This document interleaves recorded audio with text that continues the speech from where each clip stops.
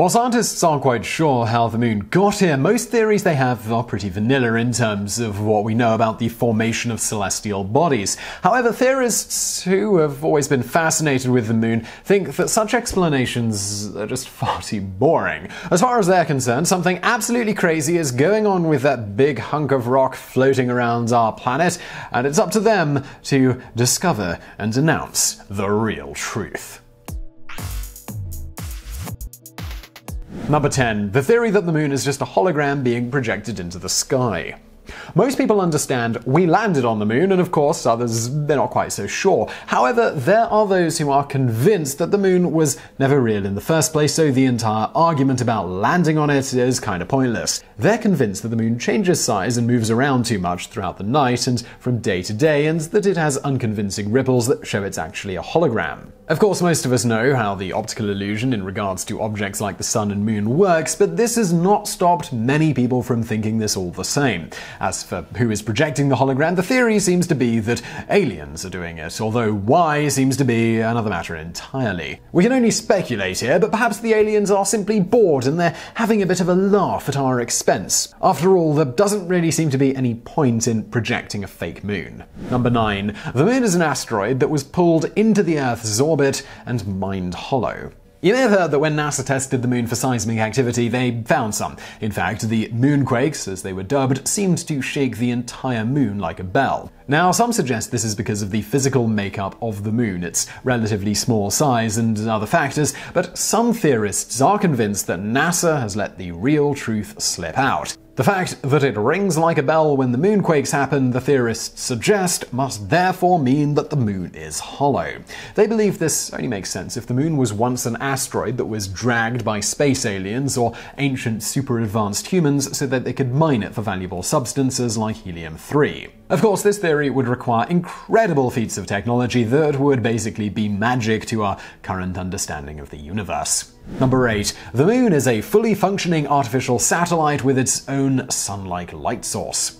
Some people cannot accept that the sun is powerful enough to reflect light off the moon with so much intensity and are convinced that scientists and the government are all lying to us. This is something that many flat earthers believe, although they aren't the only ones. Some claim that the moon cannot be natural because its light is not natural, which I, that makes no sense whatsoever. These theorists are convinced that the moon must have some kind of incredibly powerful artificial light source that it creates all on its own. Of course, for this theory to work, the moon would have to be some kind of artificial satellite constructed long ago by some sort of ancient aliens. If it was an artificial satellite, well, it seems to be still working, and this brings up the question as to whether aliens are still supposed to be operating the moon or whether it's just working on a cycle it was left on some time ago.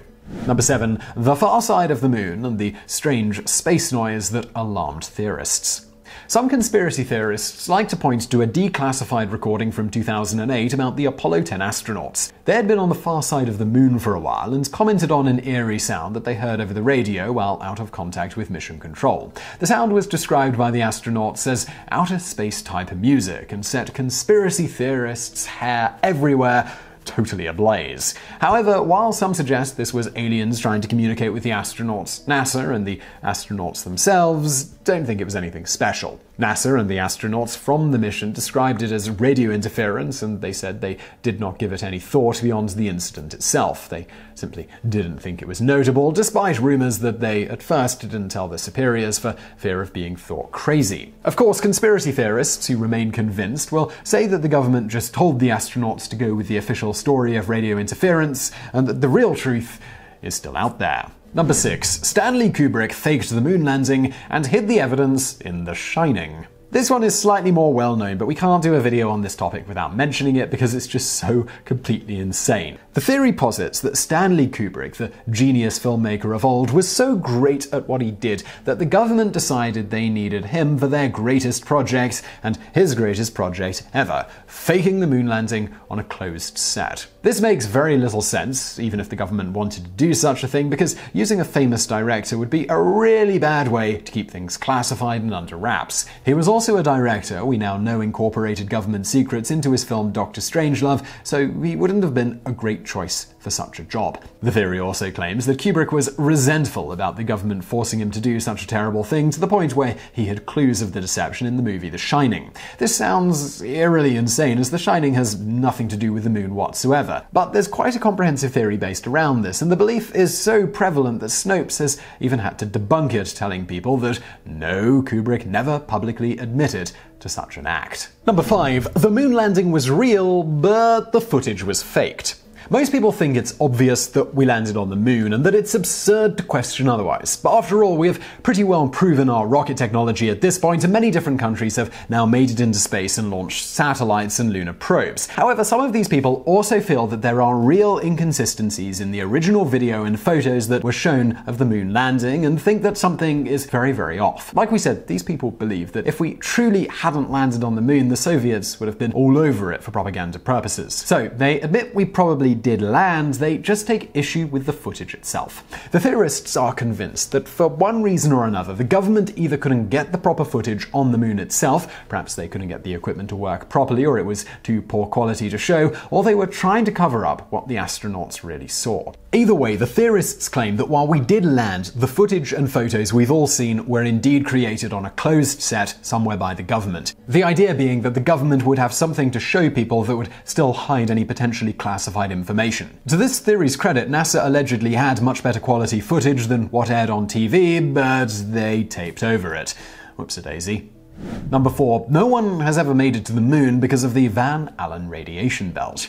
Even most who say we never landed back in 1969 generally admit that we have made real lunar landings since. Part of the reason for this admission is that other nations have done so as well, so it would have to be a really massive worldwide conspiracy to cover up the fact that there have been no moon landings at all. However, despite the fact this conspiracy doesn't appear to make much sense, there are plenty of people who are convinced about it all the same. Some people believe that the radiation belt outside of the Earth is simply too strong and that we don't have anything to adequately shield our astronauts and certainly didn't have it back in the days of Apollo. For this reason, some theorists strongly believe that not only has no one ever landed on the moon, but that no biological being has gone past Earth's orbit at all. Some take this a step further, suggesting the radiation is so strong that even unmanned craft have actually gone past the Earth's atmosphere, and that everything NASA, the government, your parents, and your teachers have been telling you all these years is just one big fat lie. Number three, the far side of the moon is the site of a space wreckage from an ancient war. Some people have read multiple theories passed around the internet where various astronauts claim to have seen space wreckage while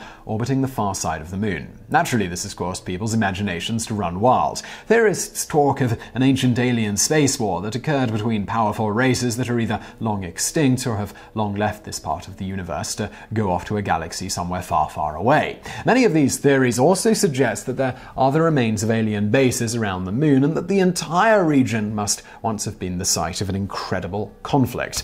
Now, there's unfortunately and obviously no evidence to support these claims. If NASA has any photographic or video evidence of space wreckage or secret moon bases on the far side of the moon, they certainly are not sharing it with the public. And if, as some theorists claim, there are still living aliens in these bases who have made contact with us, we have even less evidence of these encounters occurring. While it does stir the imagination, and like many conspiracy theories cannot be disproven, there's also little little, if any reason to believe it. Of course, there is a ship graveyard on the far side of the moon, but it's a modern one, created by NASA, where old probes are often deliberately crashed.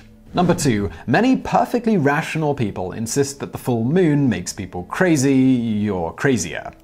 Nurses and doctors are typically some of the most educated and rational people on the planet. However, when the full moon comes out, they sometimes turn into were conspiracy believers and attack those around them by saying the most ridiculous things, which would normally sound absurd coming out of the mouths of medical professionals. Oh, and they'll also do this with an entirely straight face. Nurses who work in emergency rooms will swear up and down that there are more crazy calls and crazy people in general on nights with a full moon, despite strong evidence to the contrary for many years. If anything, the only crazy thing going on here is folklore being so ingrained in people that some of the most rational people cannot give up a ridiculous belief that makes no sense at all. And yet, many nurses and other emergency personnel remain unconvinced and continue to believe in this conspiracy theory. Unfortunately, while nurses should know full well how confirmation bias works, they fall prey to it on this issue on a regular basis in order to continue believing the magical tale of the moon's mysterious power. Number one, Nobody ever really thought the moon was made of cheese, except young children. The popular cartoon Wallace and Gromit made an entire claymation stop motion film about a man and his dog going to the moon because it was made of cheese and they needed more of it to go with their crackers. This goes back to an extremely old joke that turned into an old hoax that many people still believe. Long ago in the 1500s, some writers used the moon being made of green cheese as an expression for something so ridiculous that only a really gullible person would believe it. The green part simply was a way at the time to say that the cheese was fresh. While some people point to a survey where Americans were asked what the moon was made of, and a strong contender was cheese, this survey being cited may as well be considered a joke. It was taken back in 1902, and they were questioning children about the moon. Children, of course, being children, said things like cheese, dirty rags, and other silly things. They had no real idea and were just naming stuff, some of them not knowing what a lump of space rock might be made of, likely just guessed cheese because they had heard it as part of the old expression. In the end, the only truly gullible people here are the adults who believed that anyone aside from a small child could have ever thought that the moon was actually made of cheese. So I really hope you found that video interesting. If you did, please do hit that thumbs up button below and don't forget to subscribe. We've got brand new videos just like this every day of the week. If you're looking for something else to watch right now, why not check out my other channel called Biographics? You'll find a link to that on the screen. And as always, thank you for watching.